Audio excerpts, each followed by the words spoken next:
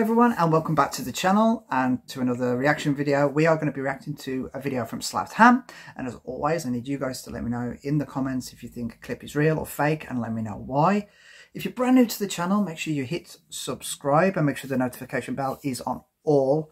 Give it a thumbs up. Um, after the video I'm going to be, I want to talk to you guys um, after the reaction. Um, so guys stay with me until the end and uh, yeah let's go.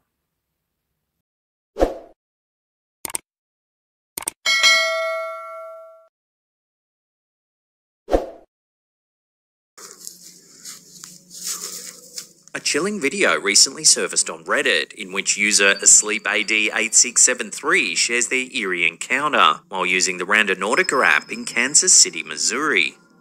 The app, which generates random coordinates for users to explore, has been the center of numerous rumors, suggesting it's cursed or leads users to dangerous locations. In the video, the OP ventures deep into the woods. Man, what the f-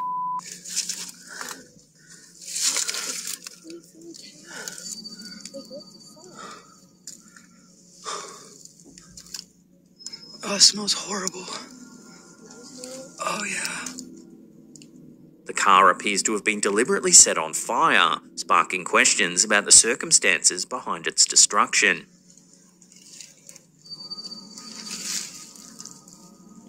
Okay. I have an issue with the Randonautica app. I really do. I did a video on it. You can go check it out. Whether The Reddit user explained that they contacted the police after discovering the vehicle. I knocked for a while and no response, so I felt like I needed to make sure nobody was inside the car that possibly needed help. Yeah. It was later revealed that the car belonged to a reported missing person, adding to the unsettling nature of the discovery.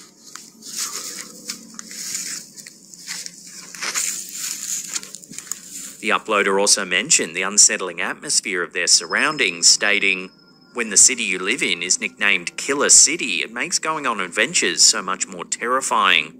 They also described a lingering smell at the scene that they will never possibly forget. Oh, it smells horrible. This recent Randonautica experience raises questions about the app's intentions and the mm-hmm. rumours surrounding it. Was the burnt out car hiding evidence of a sinister crime, or is there a less eerie explanation? And why did the app lead the OP directly to the vehicle? While there's no concrete evidence to confirm the app is indeed cursed, its users continue to uncover bizarre and sometimes unnerving findings, adding to the app's creepy reputation. It's in the middle of the f- woods. So the keys have to be in the Yeah. room, right? Yeah. The lights came on.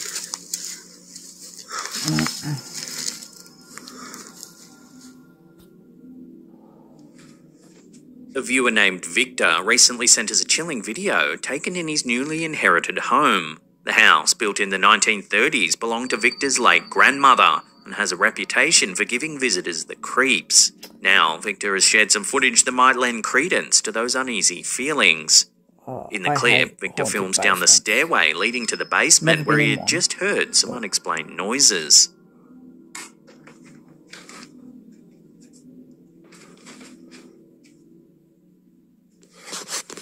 Can hear something, it's a TV on in the background. A strange grey figure can be seen climbing up the stairs just before the video abruptly ends.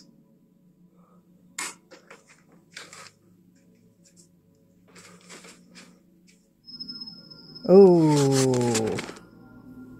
Yeah, that's creepy. Victor provided some context, saying, I started to hear noises coming up from the basement. Every time I'd try to record, the noises would stop. Moments before I started recording, the noises had gotten louder. Soon as I turned to walk away, I heard what sounded like breathing. That's when I went back to the stairs and caught what I cannot explain. Yeah, I'd move. Victor left the house that night and didn't return for several days. Oh. Since then, he's not experienced any further paranormal activity, but hmm. promised to keep us updated on any developments.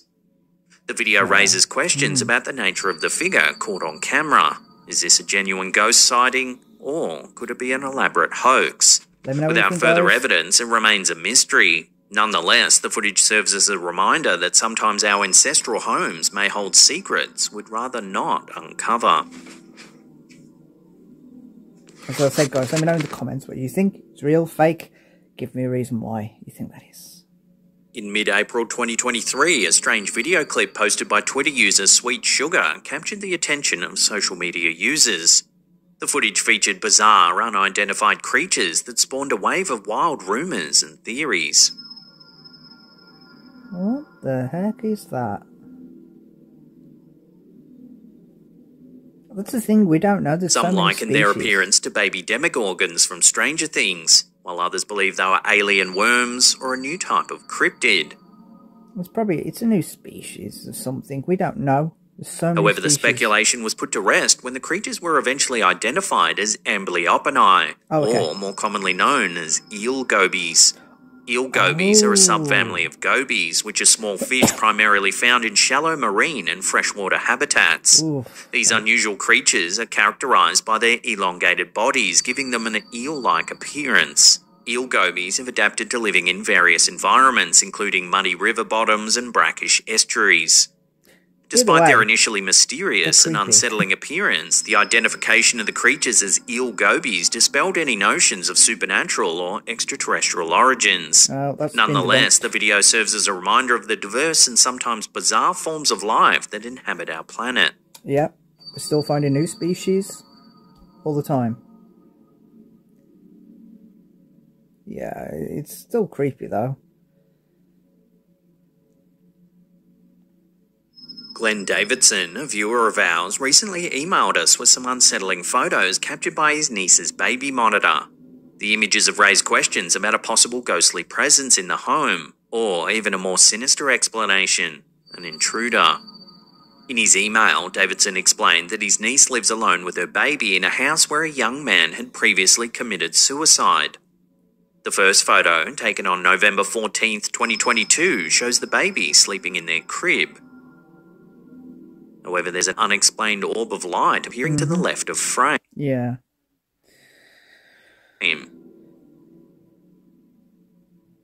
The second photo, taken a few days prior, features a mysterious figure that Davidson claims is carrying the baby, with what appears to be the baby's feet sticking out from under the unidentified person's arm.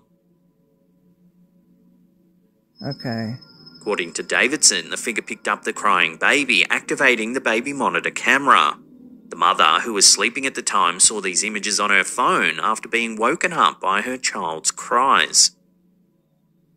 While some believe the photos may depict a ghostly encounter, others have raised concerns about the possibility of an intruder hmm. entering the home and Yeah. holding the baby. Yeah.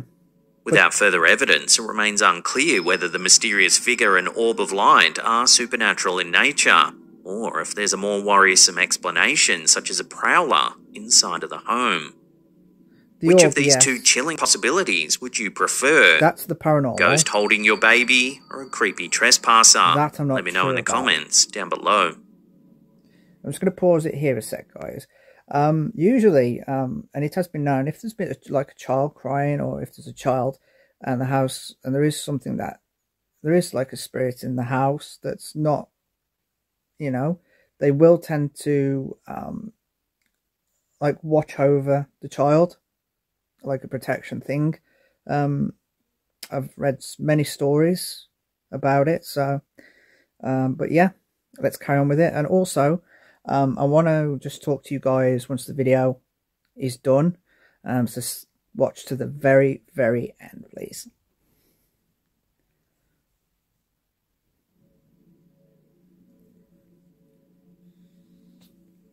In recent weeks, a perplexing video clip captured by pilot George Ortega has been going viral, igniting debates and discussions among UFO enthusiasts.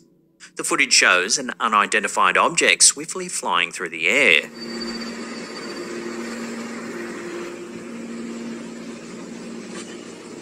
Some experts are proclaiming it to be the best UFO footage ever captured.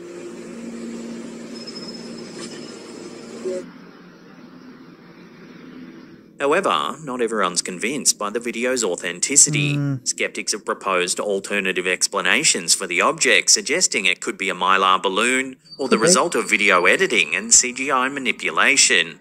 Could be. Meanwhile, others are more open to the possibility that the footage could be evidence of extraterrestrial life. or a glimpse of a top secret military craft. Yeah, I always say it's military.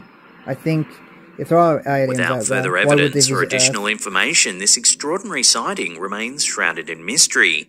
The debate surrounding the video underscores the ongoing fascination with unidentified aerial phenomena and the desire for answers about what may be lurking in our skies.